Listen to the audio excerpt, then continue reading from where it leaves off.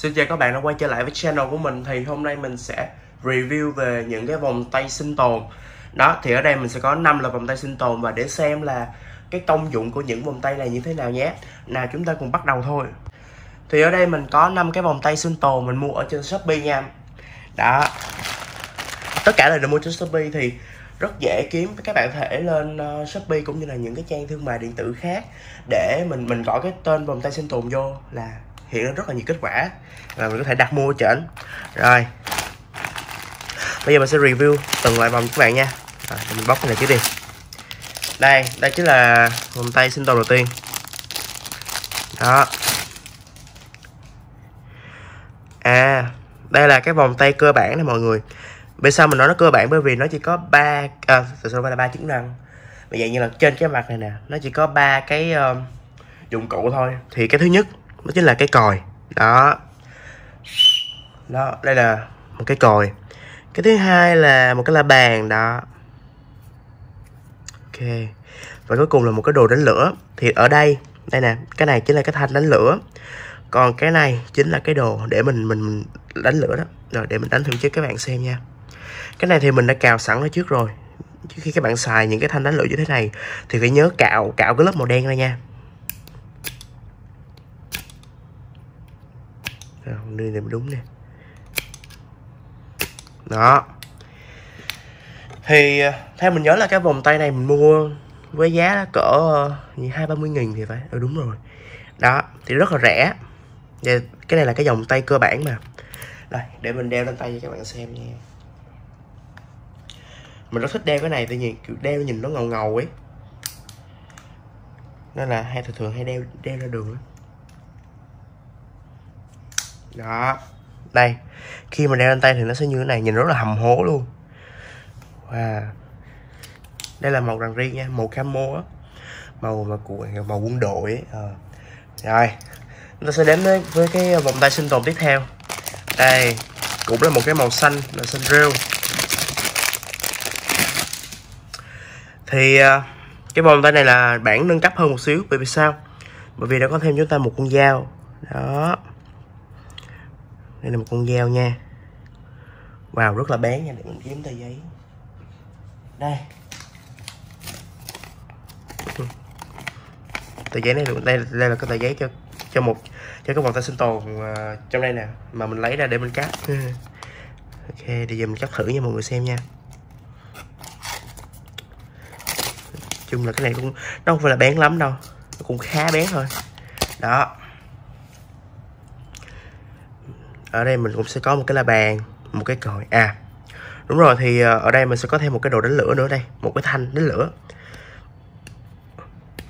Đó nhỏ nhỏ như thế này. Mà thường thường những cái thanh đánh lửa nhỏ nhỏ như thế này thì nó rất là khó đánh. Vì nó không có đủ chiều dài khi mà mình quẹt á là mình sẽ bị hụt ra liền. Đó nên là khá khó đánh nhưng mà có còn hơn không đúng không? À, thì đây mình sẽ có là như thế này. Ok cái cách mà đóng vô nó cũng khác đâu phải là cái dạng mà mình ấn cái này, mình mở ra nha. Cái này là, ở đây nè, nó sẽ có một cái nút gài nào mình đẩy vô. Đó, rồi nếu mà mình muốn mở ra thì mình sẽ ấn cái này ra để mình mình giật ra đó. Ok. Thì mình à, đây, dòng tay thứ hai rồi. Tiếp đến với cái dòng tay thứ ba thì cũng là một cái dạng dao. Mà cái dòng này sẽ là dòng màu đen. Đây. Cái dòng màu đen ồ ở trên đây nó có đồng hồ nè. Đây. Đây chính là tờ giấy của nó. Ừ, để mình cắt nát luôn rồi. Đó thì nó sẽ có hướng dẫn mình là cách mà mình chỉnh uh, mình hẹn giờ uh, sao ta? Chỉnh giờ đồng hồ. Đó cũng như những cái cái cái uh, cảnh báo nguy hiểm này nọ thôi ha. Thì uh, để xem con dao như thế này. wow mình sẽ có đây một một con dao. Xem từ từ. Để xem là bén không ha. Ừ cũng không bén lắm đâu mọi người. Đó, đây là hai con dao nè. Thì con này là nhìn sẽ bầu bầu hơn. Con này thì nhìn nó, riêng mình thì mình thích cái kia, thiết kế của con này hơn, nhìn nó ngầu hơn, đúng không? Rồi đó mình sẽ có, ở đây mình sẽ có một con dao. Ok. Ở bên đây thì đầu tiên mình thấy là có một cái đồ đập kính nè mọi người. Đó, nó nhọn nhọn vậy, mình dùng để mình đập kính ha. Rồi, mình sẽ có một cái ờ, thanh đánh, đá đánh lửa. Đó, cũng nhỏ nhỏ giống cái này. Ok một cái la bàn và cuối cùng một cái đồng hồ. Thì cái đồng hồ này thì ở cái nút đầu tiên là dùng để chỉnh đó là điều chỉnh giờ.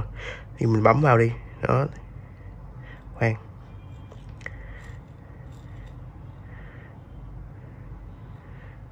Ui trời nó lùm xùm thích nha à đó.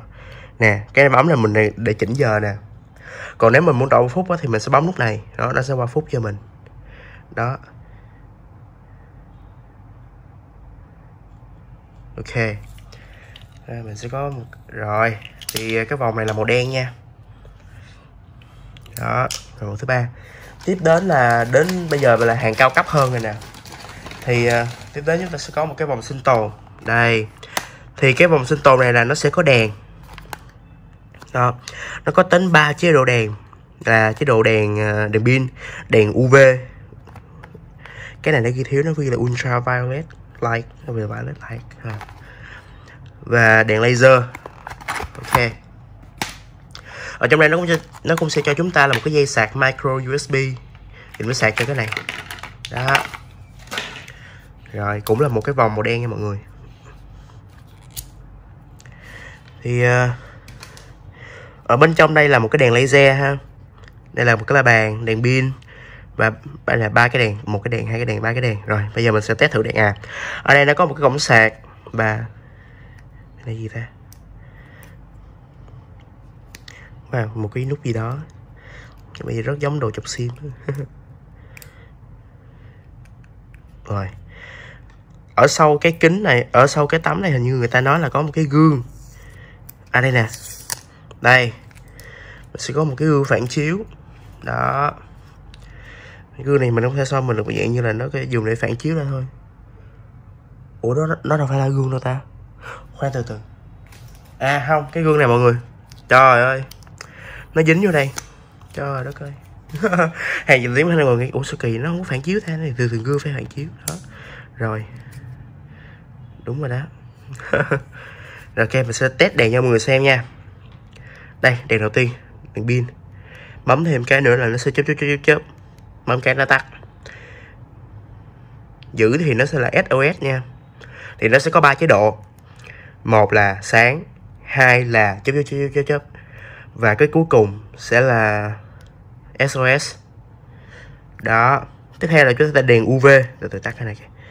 Đèn UV này khó thấy kiểu sáng quá không thấy được mọi người. Cái đèn UV này cũng nhỏ thôi ha. Đó tím một này đó. Một cái đốm màu ờ, xanh nước biển màu tím gì đó là đèn UV và cuối cùng là đèn laser. Đó đây nè. Đó. Thì mình nhớ không lầm là vòng tay này cũng một trăm mấy á. Ừ. nói chung là cái vòng tay này không có dao ha. Nhưng mà được cái là bù lại là quá trời đèn luôn. Cũng ok đó. Rồi đến với cái uh, vòng tay cuối cùng thôi nè. Thì uh, vòng tay cuối cùng cũng là một cái vòng tay nó có đèn trọng nhưng mà đèn này không nhiều bằng đèn kia thì mới nói gì đó. À. Mới cái này. Thì uh, cái đèn này á à, cái vòng tay này á nó sẽ có là la bàn nè. Rồi thanh đánh lửa nè. Đó, một cái thanh lửa Ủa, cái này là dài hơn những cái khác nha. Dài hơn bốn cái này. Đó thanh lửa dài hơn. À hình như cái miếng này là dùng để đánh lửa nè mọi người. Một phải ta? À không đánh bằng này.